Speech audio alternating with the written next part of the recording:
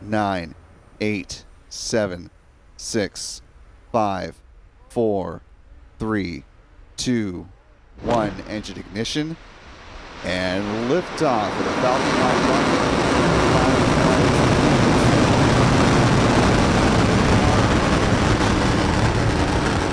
Falcon 9's clear the tower.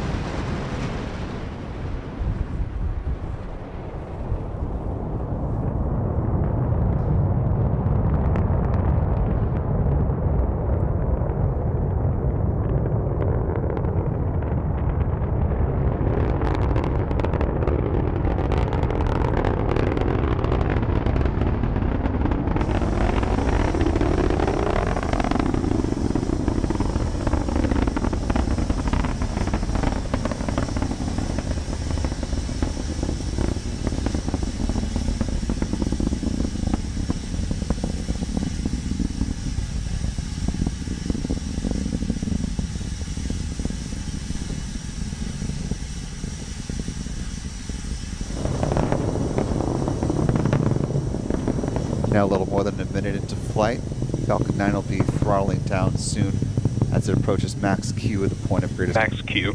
aerodynamic pressure on the vehicle. Good call from SpaceX. We'll have a few events here in fairly rapid succession.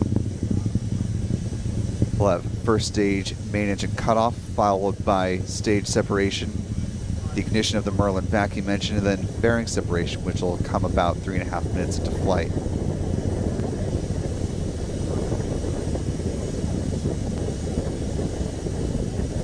Chill.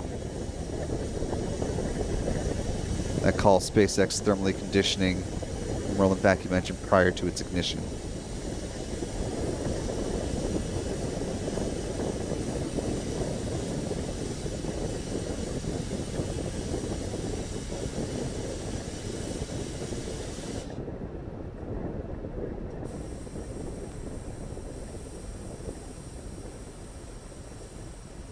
Great work by the tracking team tonight. Main engine cutoff is now just about 10 ish seconds away.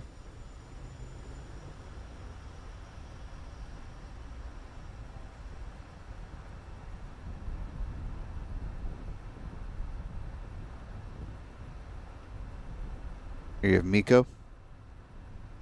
MECO. Stage separation confirmed. Fairing separation confirmed.